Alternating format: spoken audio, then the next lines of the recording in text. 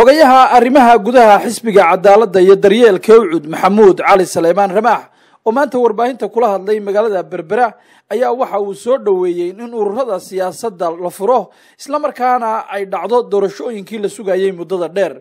Sidoo kalena waxa uu ramaax cali hayste kaga jawaabay su'aalo dhowra ay warbaahintu weydiisay waraysigiisaasi waxaan wax kaa weydiinaynaa madaxweynuhu wuxuu ku dhawaaqay in ururada siyaasadda la furayo. Bal aragtidaada saad u aragtaa xaaladda maanta somalilan ku sugan tahay iyo in ururada siyaasadda xilligan la furo? Wallaahi kolley inkastoo shalayna ay mowqif midaysan soo wada saareen labada guddoomiye xisbi sidii maalintii hore madaxweynuhu ku dhawaaqay labada xusbiba way taageereen. Qodax iyo xirsi labada midna dhib uma aragna bay yidhaahdeen raggaa u arkay inaanay dhib u lahayn ama dareenka dadka oo dee aad ka warhayso had iyo jeeraale siyaasigu inuu ku shaqeeyo weeyaan ayaan aaminsanahay dareenka dadweynaha inuu ku shaqeeyo siday u soo dhoweeyeen baan u soo dhoweynayaa. Waa taasi waa mowqifkayga shakhsiga waayo adiga waxaad ka mid tahay siyaasiyiinta maanta siyaasiyiinta somalilan ee inta badan meydhiyaa aad uga hadla xaaladaha waddanka ka taagan. Maxaa adiga kuu qorshaysan iyo inta kula fikirka ah? Wallaahi kolley haddii ay timaaddo oo dee ay ka dhowowdo saddexda xusbiba waxaad mooddaa in dadweynaha iyo daraska siyaasadduba inay dadku ka soo taagan yihiin xusbi qof keliya uu guddoonka iska yeesho in la helo xusbi la mida xusbigii mabdan. Runtii halkaynu ka jabnay waxa weeye xusbigii la odhan jiray udub. Dee markuu hawshan waday isagaa taladii dalkana hayay. Waad ogtahayoo daahiryaale afar doorashuu qabtay. In labaa iyo hadda ma dhicin madaxweyne dambe ama xusbi dambe oo talada haya oo hal doorasho dirqi oo weliba ta madaxweyneha uun culays inta badan la saaro. Waad arkaysaa maanta waxaa ku yimi baarlamankeenii dhibaatada haysata. Toddobiyo toban sannadood nin soo fadhiyo shan sannadood la doortay. Runtii waa nasiib darro. Sidaa daraaddeed waxaan qabaa uun ciddii mabda'a aaminsanayd. Uu xusbigaa hore ee aasaasay dimuqraadiyadda dalka. Oo isagu markaa mindida daabkeedana hayay hirgeliyeyna ee aan eegaynin. Dan shakhsiga aan eegaynin. Inkastoo berigaa dee ragga maanta talada haya ay dhammaantoodu diidanaayeen. Haddaan u soo noqonno taariikh dheer inaan halkaa idinka siyaabay ahayd ama dee aydin wada fahmi kartaanba?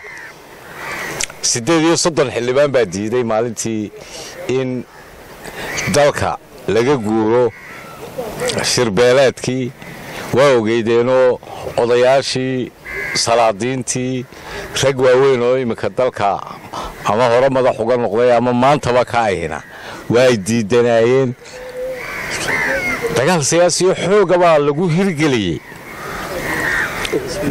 In xusbiya loo guuro tii iyada ahayd waxaa ka midhadheliyey keliya waxaa xusbigii udub ee doorashooyinkii xilligoodii ku qabtay hirgeliyey aftidii dalka ka qaaday oo iyada laftigeedu aan howl yarayn la mid ahayd doorasho la qabtay oo kale sidaa daraaddeed waa cid aaminsan fikraddii uu xusbigaasi xambaarsanaa. Ayuunbaan qabaa maantana inay dimuqraadiyadda luntay ee dalka dib u soo celin karto xusbi la wada leeyahayna. Waxa inoogu dambeeyey xusbigii la odhan jiray udub la odhan jiray ee laha u naxariistayd buurdhigaha u ahaayeen. Maxamed xaaji ibraahim cigaal iyo daahir riyaale oo runtii markii dambena halkii ka sii anba qaaday kuna guulaystay oo aan ahayn taariikh la dafiri karin. Sidaa daraaddeed waxaan aaminsanahay xusbi qabiil dabada geliya iyo shiksi reer dabada geliya iyo qof markuu soo baxoo shandad ku qaata oo go'aanka keligii yeesha inaannu dalkani u baahnayn dimuqraadiyadda. Dalkan waxaa lagu hirgelin karayaa ay horena ugu soo hirgashay wax ummaddu wada leedahay oo ay wada eegato. Kolka adeero ummadda macliyiin waanaan walbana mar walbana waxaa ku tirsanahay. Intaa had iyo jeeraale u soo jeedda waad arkaysay shalayto duur baa soo dhoweynayey rag badan oo kalea dhawaaqi doona oo soo dhoweynaya hawshan. Waxa weeyaan hadday timaaddo iyo imikadanba hawlahan wadno waa ka mid shirar duceedyaa meel badan meelo badan ka socda. Kollay socdaalkaygana kan maanta aan ku imina iyaduu lugta ku hayaa dhowaanna waxbaa naga soo bixi doona haddii ilaahay ka dhigo. Waayahay xoog haye. Gudoomiyaha faysal caliwaraabe oo xisbiga ka tirsantay shalay toole uu ka soo horjeestay ururada ama go'aankii madaxweynaha ee khudbad sanadeedkii uu ku furiyay ururada. Adiguna waad soo dhoweysay arrintaasay isu waafaqayaan anugu mid shiksi ah ayaan iminka ku hadlay shalay miyaan hadlay? Waxa weeyaan xusbiga ucud lagu ucud ama kulmiye ama wadani saddexduba waxay ku qasban yihiin. Dalka sharcigiisa in la raaco. Xeer baa yaalla. Xeer baa yaalla. Xeerkan waad ogeydo markii hore shan sannadood buu ahaa. Haddana dubbaa amendment loogu sameeyo toban sannadood baa laga dhigay. Dee hadduu madaxweynuhu u soo gudbiyo baarlamanku ansixiyaan. Waa ninkii baanaayo lagu fasax waaye xoog haye ka dhex gale adigu siyaasiyahaan diyaar ma u tahay. Haddii ururada la furo inaad urur furato oo aad halkaa ka hawlgasho. Adeer kelmaddaa ka daa inaad urur furato. Taan ka cararaynaa waa inuu qof yeesho xusbi yeesho waa xaaraan. Waana dhibta maanta ina haysata waana dhibaatada maanta ina haysata oo deedna aad reerdabada geliso dalkana wax ugu tari maysid xusbi jirana ma ahaanaysid dimuqraadiyadna ma hirgelinaysid aakhirka wuxuunbaad ku dambaynaysaa inaad kuwa iminka ummaddu ka cabanayso aduu dareenka ummaddan ka hadlayaa runtii. Dareenka ummadda waxa weeyaan xusbi la wada leeyahay oo adeer marka la doonayo in madaxweyne loo tartamo example ninka guddoomiyaha noqdun baa odhanaya mar walba madaxweyneaan u taaganahay waa xaaraan. Waa in gobolladii ay ka soo jeedeen. Eg markaad eegto iminka xeerkii xusbiyada lagu furay. Waa inuu lixda gobol ka haystaa. Soo ma ahayn? Min boqol kalsooni ka haystaa.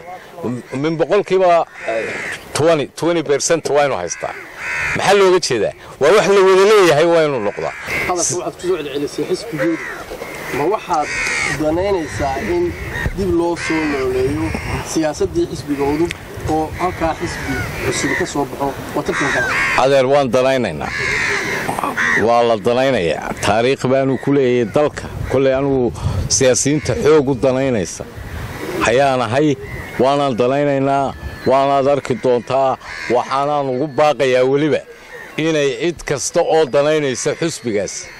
In ayse soo urursadaan oo ay badbaadada dalkan iyo qarannimadii dalkan iyo hirgelintii dimuqraadiyadda inay isu taagaan. Maxamed cabdilaahi soo fadhiistay star t v magaalada berbera